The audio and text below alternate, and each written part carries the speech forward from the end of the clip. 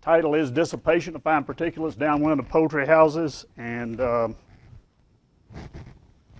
co authors, uh, Casey Ritz, I believe, is in the room, so I'll defer all the questions to him at the end.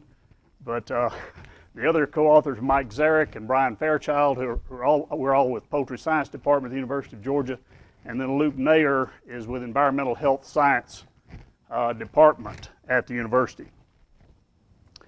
Um, as, a, as a means of introduction to this, I wanted to point out a couple of things that we were not doing. We were not trying to measure, we were not trying to determine. We were not measuring emissions of, of PM 2.5. Okay? There's a lot of other work going on there. Uh, we were not trying to determine what happened to PM 2.5 from point A to point B. We know that some of it is settling out, some of it is dissipating to the atmosphere, and so what we were really looking at is how far uh, or what happens to the concentrations as they uh, go downwind from a poultry house. Okay, um, so that's what we were looking at. Uh, we were also not measuring odors.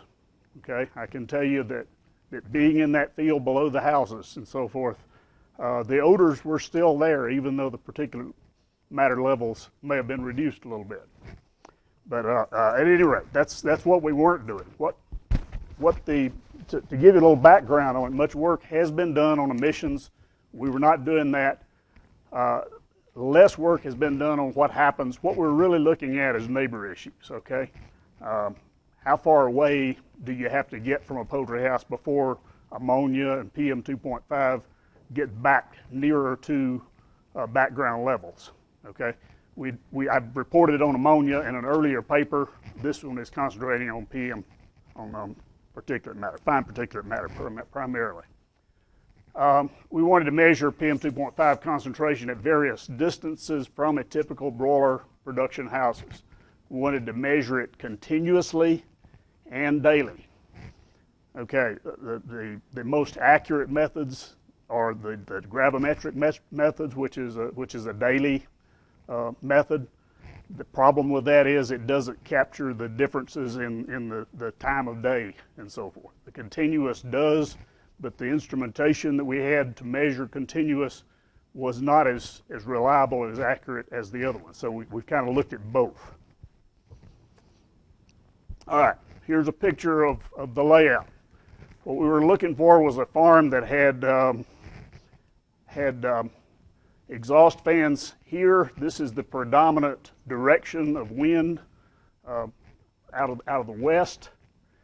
Uh, we were looking for a house that had a large open area here with not a lot of trees or anything else downwind from that house. And also so that the fans, the exhaust fans, would be blowing in the same direction as the prevailing winds. And this was uh, the best house that we could find or the best farm that we could find in the area. Uh, basically, we set up uh, monitoring stations here at different lengths. Uh, this is 25, 50, 100 feet, 200 feet. Uh, let's see, I guess that was 100, 200, 300, and 500 feet.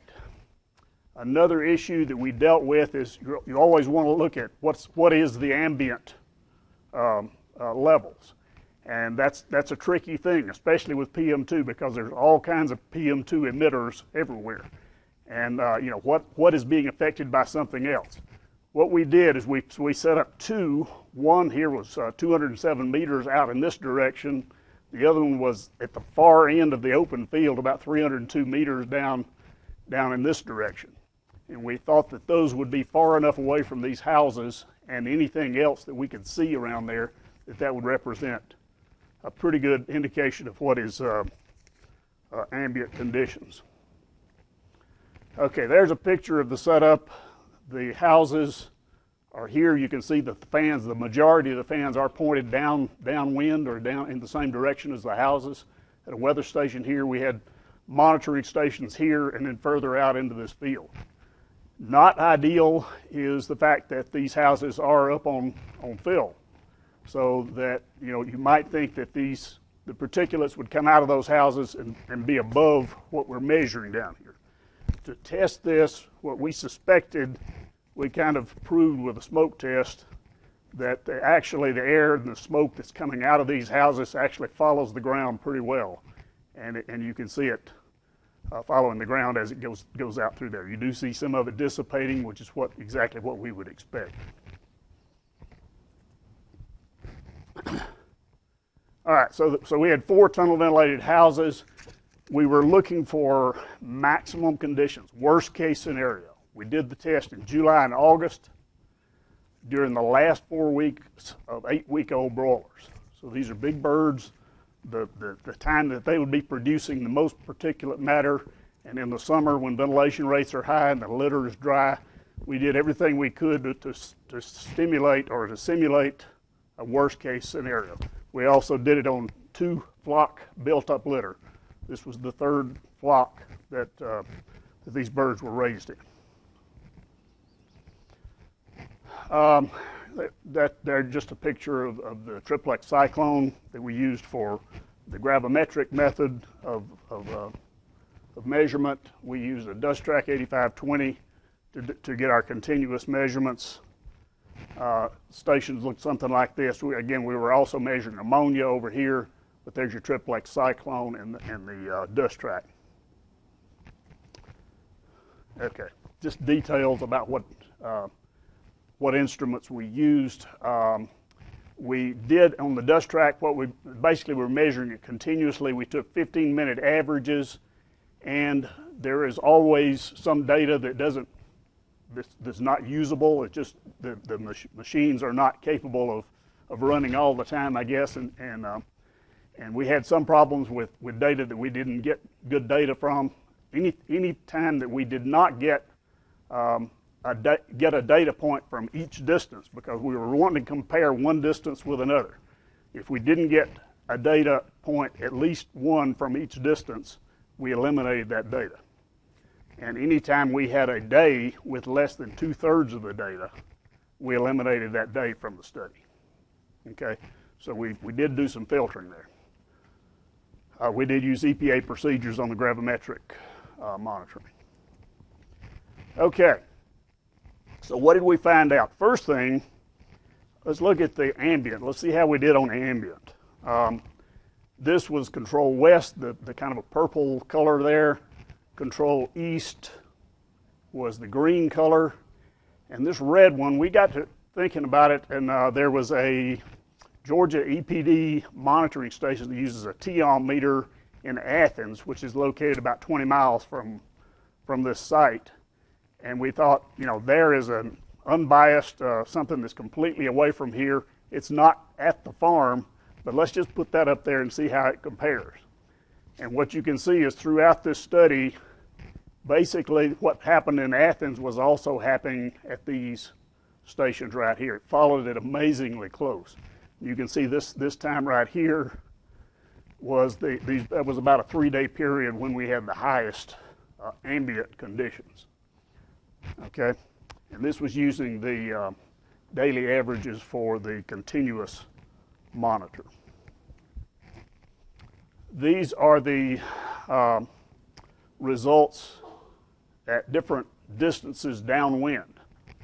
Uh, not surprisingly, the highest numbers are at the shortest distance from the house, and it tends to go down that way, although you do see a lot of gaps and some things jumping around and so forth, you can generally see that as you get further away from the house, the numbers do go down, but there are some exceptions to that.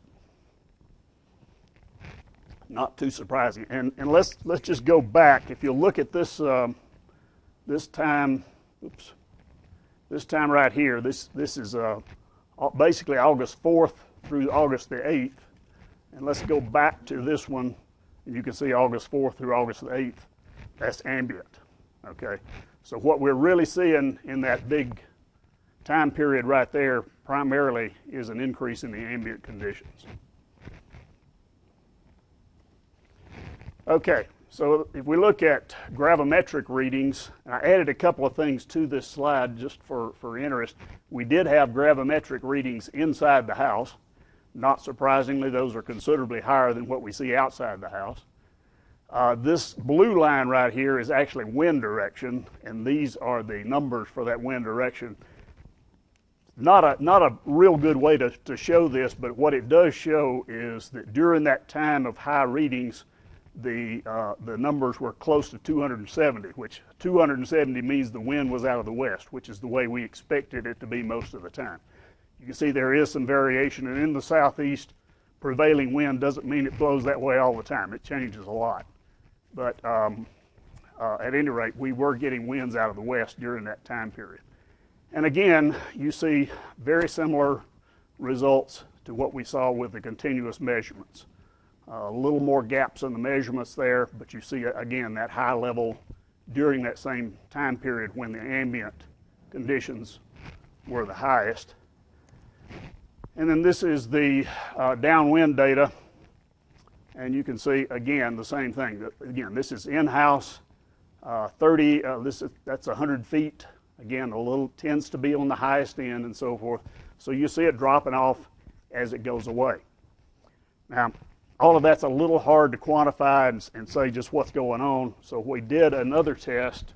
Okay, we'll, we'll get to that. But I wanted to point this out too. This um, here is Atlanta, Metro Atlanta, which is a non-attainment area for for PM 2.5. Here is Athens, and here was our test site over here.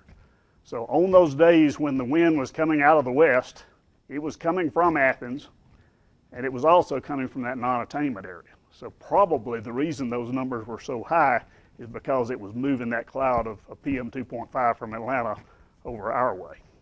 Just to give you a little little background on that. Okay, we did a, a statistical analysis on these uh, these results, and basically what we did was we took all of the measurements in house, all of the measurements that we had from 100 feet for the whole four week period, all of the measurements that we had for the whole four week period at 200 feet, and regardless of where it was located, and uh, and so on. And we plotted those to, to kind of show what was going on here as best we could. All right, here's your controls out here. Here's in-house, and basically you see a, a trend to, to go away. Now, statistically, this one is different from control east. It's not different from control west. So the only statistical difference is really at 100 feet. If you get beyond 100 feet, you're basically at background level. Okay? You can see a little bit of a trend too, but, but statistically it doesn't show up there. So that's kind of what we that's kind of what we saw.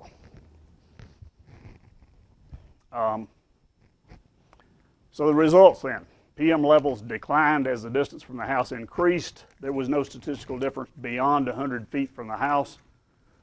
Uh, readings, there were readings above the EPA ambient air standard of 35 micrograms per cubic meter.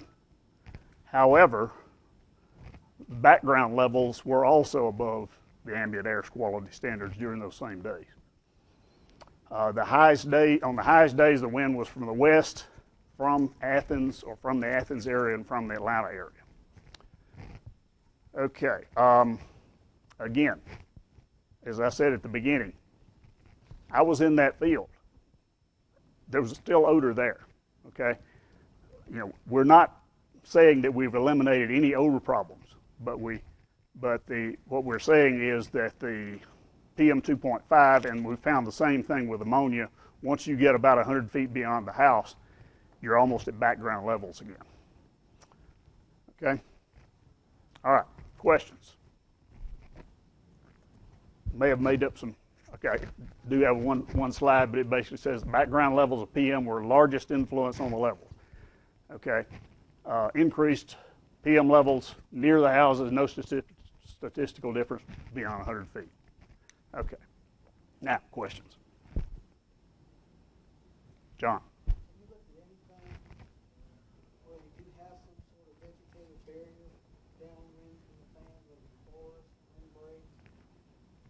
No, I mean that's that's been that's been done. It's been shown that that a vegetative barrier does does help. Yeah, yeah. We were trying to say, okay, what if you don't have anything? You know, what's the worst case scenario again?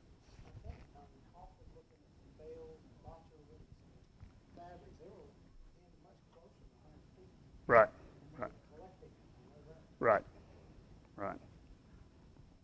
Yes. How would you be able to uh, isolate the effect of other houses? Other poultry houses? Okay, well, there were some, uh, let's see if I can go back to the original picture. There was a, a row of woods just to the right of the, of the, the houses, so there were no, there, there were some other houses, but they were further away uh, and on the other side of a, of a group of woods. So we, we think that, along with the fact that um, of what we showed with our ambient readings, uh, pretty much eliminated what was going on with other houses.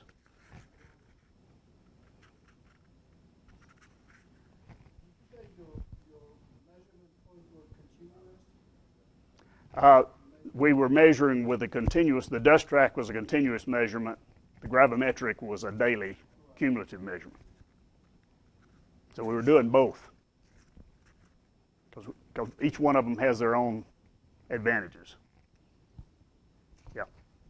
You made a point to compare the dust levels with the odor observations that you made. Can you make any other comments? Because you know, a lot of times we are told that dust is one of the primary vectors of odor transmission. Right. You made a point to make Well, Yeah. Um, well, uh, you know, both you know ammonia and PM 2.5 are both. Um, I guess they're they're both targeted because you can measure them much better than you can measure odor. And uh, um, you know, I guess my point is that that they are not real good measurements of odor. Okay, they are not a guarantee that you that you have solved the odor problem. And of course, we all know that that's what that's what people are really worried about.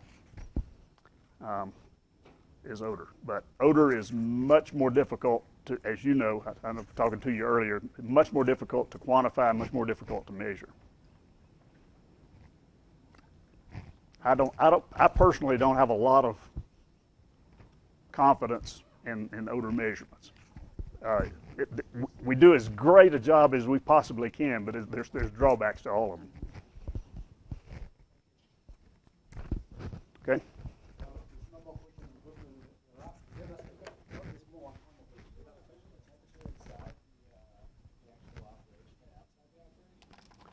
Did we measure temperature?